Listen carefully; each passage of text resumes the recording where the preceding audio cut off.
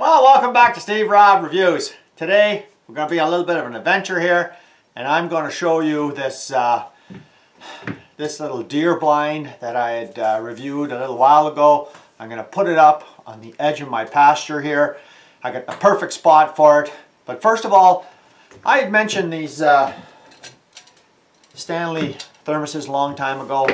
And there's a lot of controversy between whether they were made offshore or made in the USA, if there was a difference. I had the original one made in the USA. And guys, I'm going to show you, this is uh, just before 9 o'clock in the morning now. And uh, what I'm going to do is I'm going to pour this. And this has been sitting here since 9 o'clock yesterday morning. So I've already had one cup of coffee.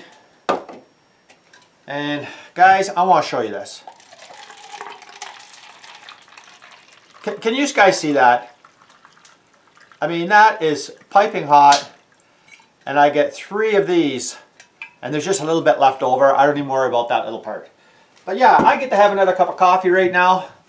24 hours. And it's nice and hot. Now, it's not hot in here all the time. I don't heat the cabin during the daytime. Only uh, when I come back in in the evening. So yeah, it's cool. And today is right on the freezing mark. It's in October and she's cold. So I'm going to go out there to the uh, pasture. I'm going to put up this thing. I'm going to show you what it's all about. And I've got a uh, another one of them uh, corn barrel feeders. A little bit of different one than I had uh, last week where uh, me and Doug put that thing up.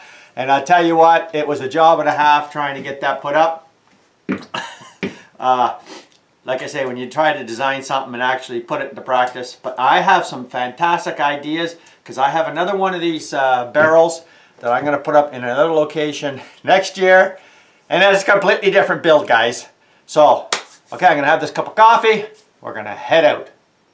Well, what do you think?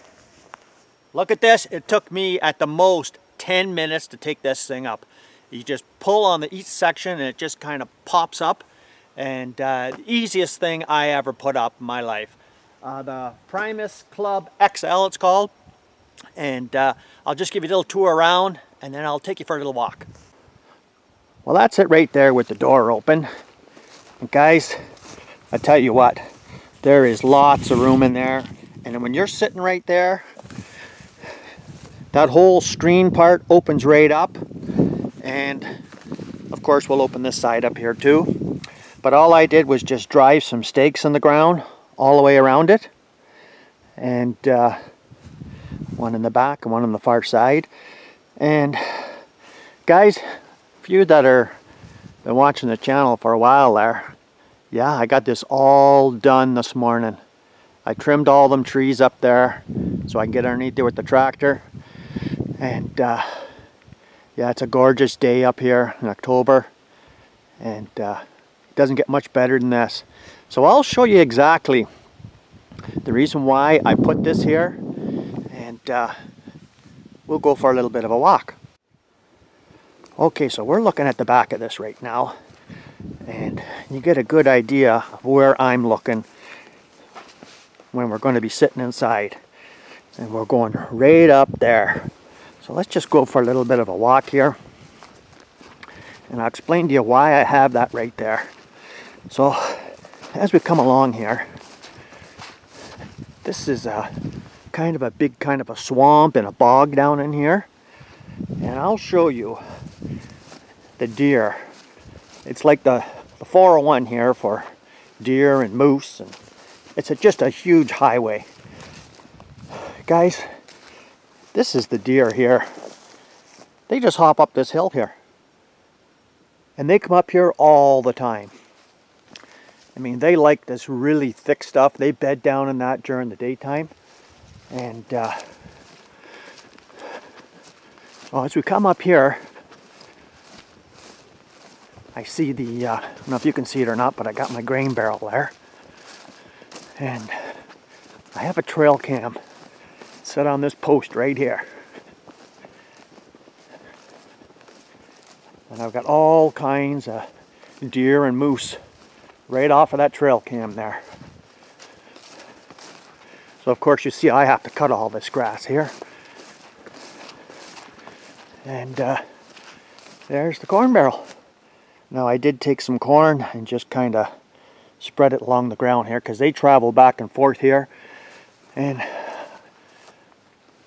you can see where Mr. Bear chewing on the barrel there. Uh, yeah, so we'll see what happens here. And I'll give you a shot of exactly, now you see, just perfect this, this whole area here.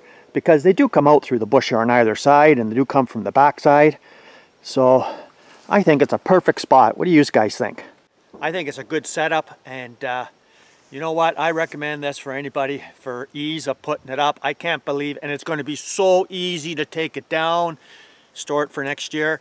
But I look forward to showing you this uh, this November. Now, they say you should put one of these up about three to four weeks before the season actually starts where you are. Let the deer get uh, uh, accustomed to the, you know, to the outline of it. And, you know, they'll get used to it over time. So it's about four weeks before the, uh, the hunting season and I'm looking forward to trying this thing out. You're out of the wind, you're sitting inside there. It's going to be just terrific because we usually get, you know, snow and rain in November, the first week of November. And guys, it's the best time of the year. So thanks for joining me here today. If you've never seen this channel before, you're welcome to subscribe. You guys take care now, eh? Cheers.